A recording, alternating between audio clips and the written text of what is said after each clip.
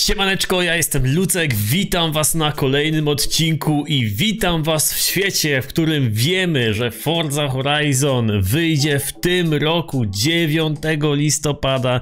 Moi drodzy, jestem mega, mega podjarany, ale dzisiaj zerkniemy sobie dokładnie na wszystkie zwiastuny, które zostały zaprezentowane 13 czerwca na E3. Więc zaczynamy od zwiastunu e, takiego cinematic bardziej, takiego, gdzie nie ma za dużo gameplayu. Właściwie wszystkie te zwiastuny są takim trochę gameplayem, tylko że to są takie zrzuty z gry. To nie jest jakieś tam nagrane, jakieś CGI i tak dalej. To, to jest prawdziwy taki, można powiedzieć, gameplay, tylko nagrany z takiej kamery wolnej, no nie? Nie tam z, z widoku za samochodu czy coś takiego.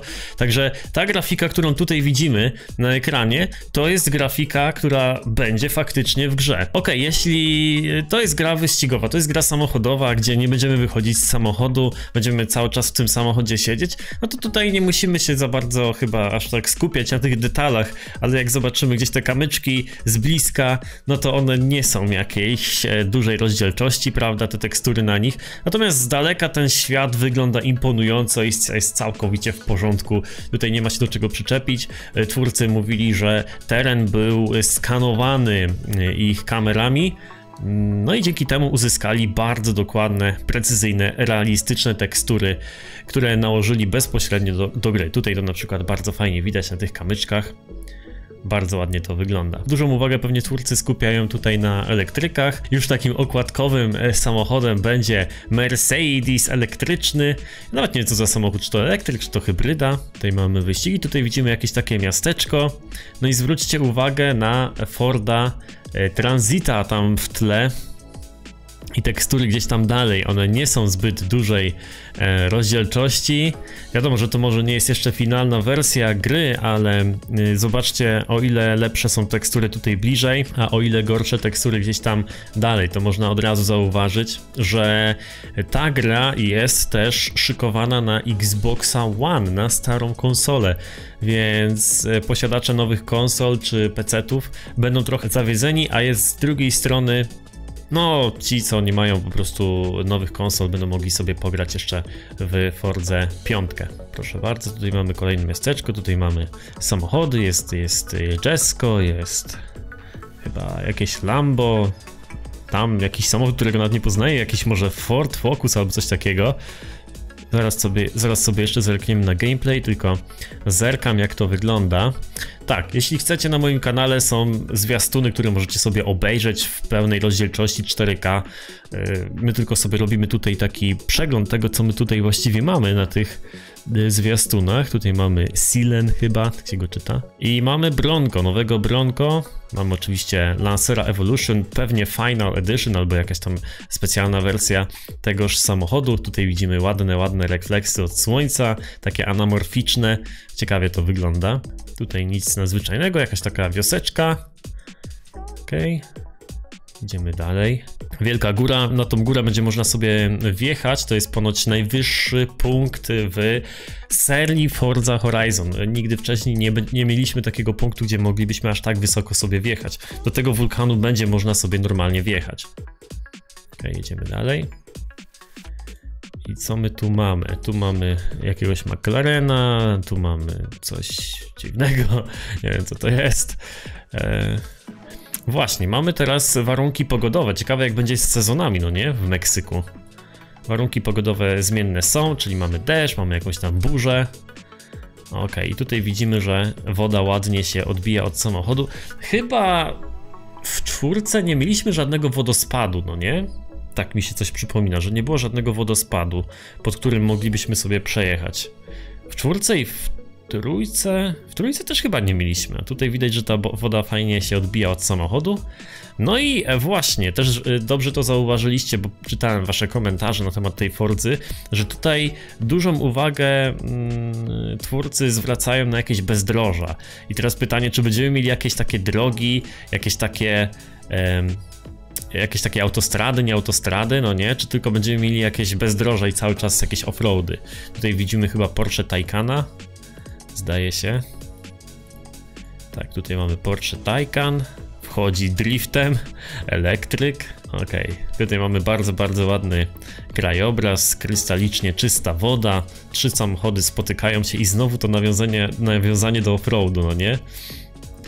Tak, tutaj mamy spore takie obszary. Ponoć to ma być największa mapa, mm, jaka dotychczas powstała e, w Fordzie, ale Fordzie Horizon, serii Fordzie Horizon, ale zwróćcie uwagę na jedną bardzo ważną rzecz teraz. Mamy burzę piaskową. Czy z tą burzą piaskową będą e, związane jakieś konkretne eventy albo coś takiego?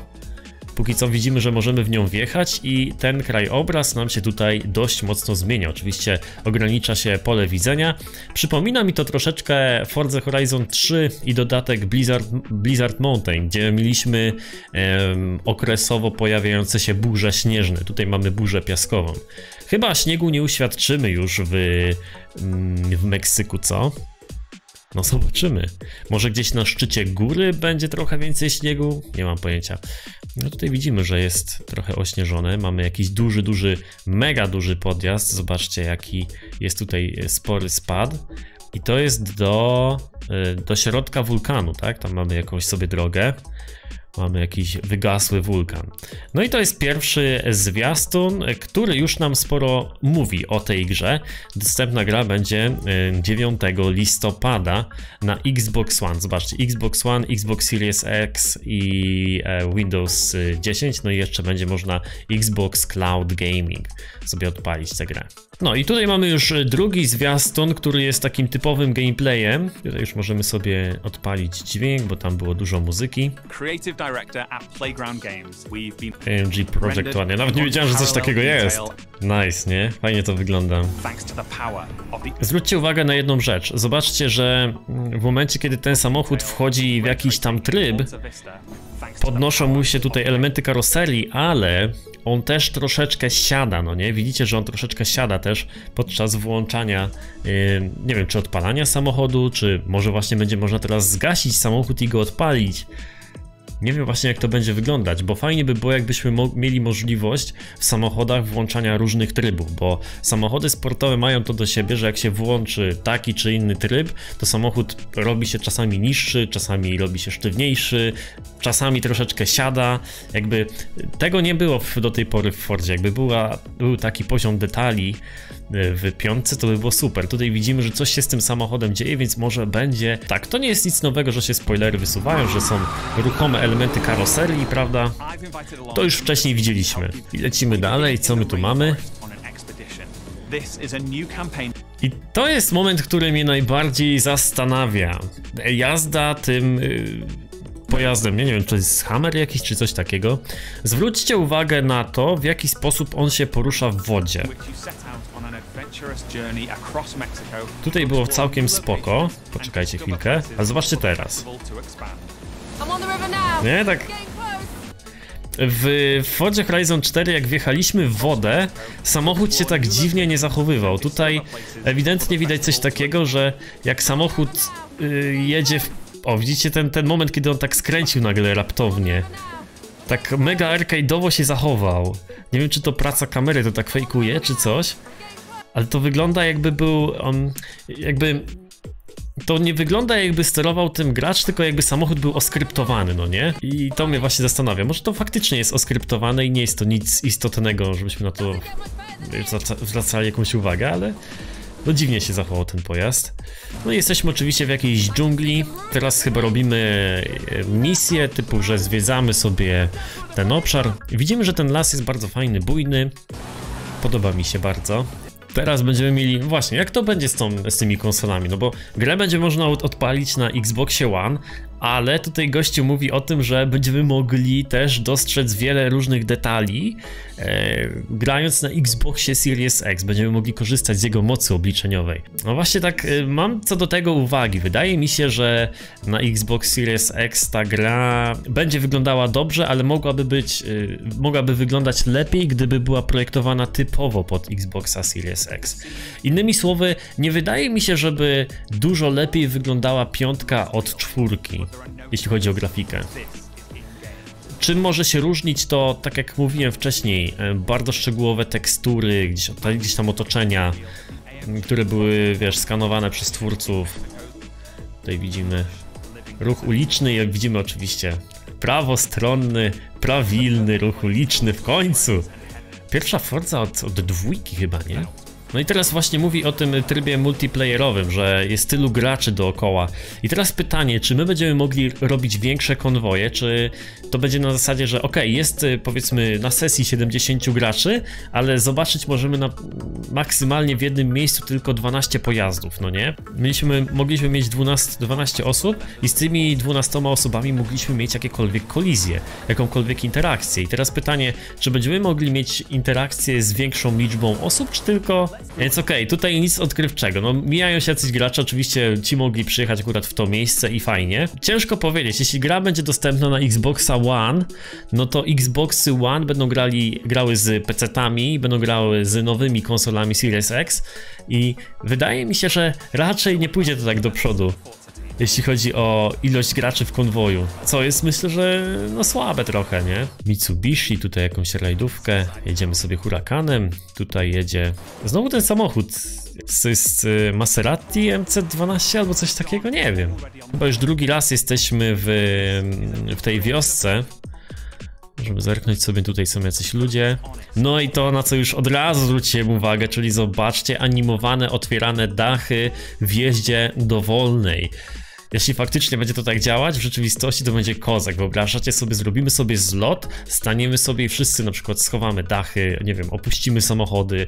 Zobaczymy, jeśli ta pneumatyka faktycznie będzie działać, to będzie super. I tutaj e, można zwrócić też uwagę na detale różnych obiektów e, na poboczu widać ewidentnie, że wygląda to dużo, dużo lepiej niż w przypadku Forza Horizon 4, więc myślę, że tutaj e, detale na tych nowszych konsolach i PC-tach będą lepiej wykonane po prostu.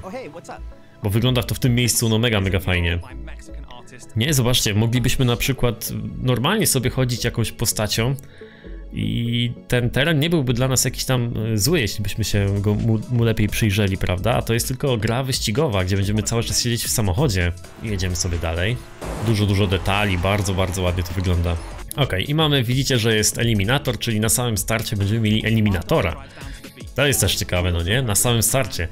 Czyli widocznie docenili ten tryb twórcy, zobaczyli, że dużo osób się nim interesuje.